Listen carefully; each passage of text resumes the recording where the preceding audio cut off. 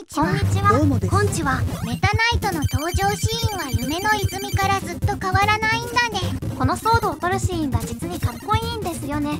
確かに演出はかっこいいですね。ただ最近のメタナイトと比べると行動パターンはだいぶ寂しいですね。謎の行動をとってくるしね。その割に大苦戦してたのを隠しても無駄ですよ。包み隠さず暴露するスタイル。なんでゴリ押しで乗り切ろうとするんですか。勝てればいいんだよ。しっかり勝てましたねこの仮面が割れる演出もずっと伝統で続いてたんだね。初登場からこの完成度。そしていつの間にか残機がゼロになっているのですが。レトロフリークで残機1ってのがあってこれいいなって思って当てたらここで止まったから切ったんだよ。うーんこの意識の低いプレイ。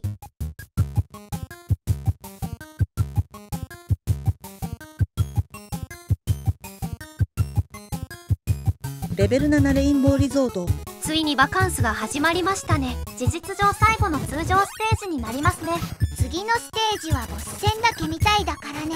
そう考えるとそろそろ最終回も近いってことですね。ここでクイックセーブを解禁していますが焼け石に水ぐらいの難易度ですよ。そんな感じだね。でもまだ1アップが見えるところに配置してくれるだけ良心的ですよ。逆にそれぐらい難しいとも言えるのでは。今頃レーザーの使い方チュートリアルみたいなステージだしねそしてここからミスタードリラーステージですか。こういうのもカービィらしいですね。レーザーだと上下にブロックを壊せないからここでお役御免と。なるほど奥が深いですね。スパークとファイヤーのどちらを選ぶと楽かってところですよ。スパークの方が楽しそうだね。バーニングで一気にやりたいところではありますが。残念ながら今は選択肢にないですね。吸って吐いてだとカービィの肺が損傷しますからね。カービィの肺活量ってどうなってるのかね掃除機みたいに後ろから勢いよく風が出ているんですかね。だからカービィでそういう詮索しないでくださいよ。バーニングいたけど今更だね。せっかく青ブロックが削れるみたいなのに削らないんですね。これは多分期待させておいて穴に落ちる懸念もあるからね。残機がゼロ機なのであまり冒険はしない方がいいですね。逆にそういうところに1アップが隠れているんですよ。残機は大事だよねカービィがマリオと同じシステムだったら永遠にクリアできないところでしたね。この状態でもアップアップなのにね。上の入り口が気になりますね。どうやったらいけるのか考えるのも楽しいんですよ。A ボールはまだかまだなのか。シャツを落としたい衝動に駆られますが余計なことはしない方がいいですね。ライフを1メモリも削りたくないですしね。ちょっと背景がスーパーマリオブラザーズ3みたいだよね太陽が襲ってきそうですね。カービィにも似たような敵がいるのでややこしいんですよ。ステージ構成の割にはまだ優しいね。地獄を見るのはこの先ですからね。ようやくゴールですね。推しノーダメージクリアだ。ここで残機を増やせたのはでかいですね。コインがないので残機増やすの大変なゲームですよね。ということで次のステージをクリアして今回は終了かな。尺的には短いですが次のステージ結構長くないですか？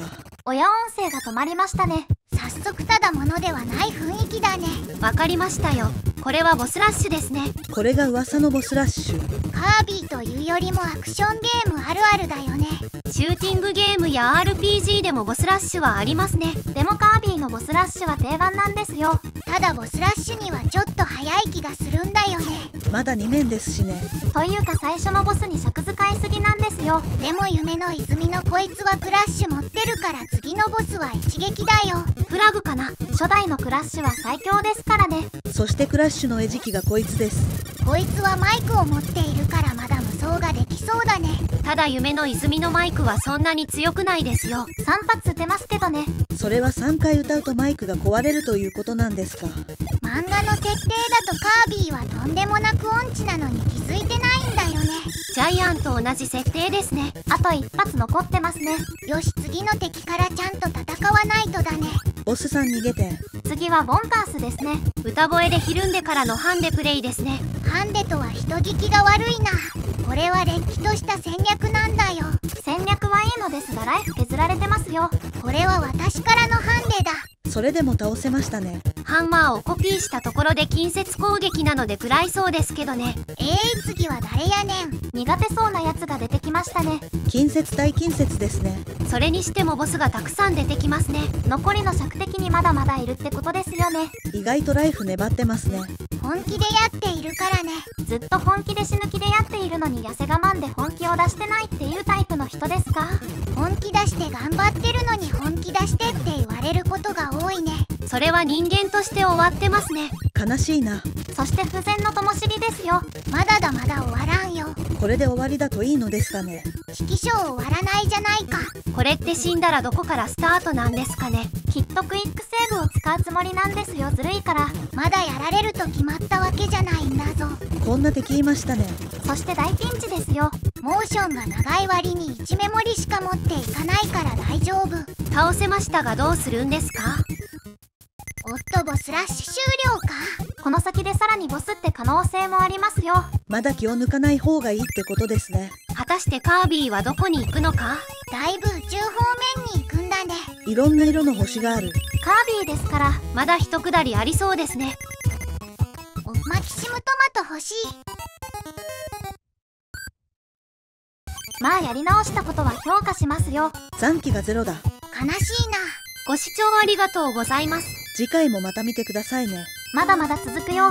楽しみに待っててね。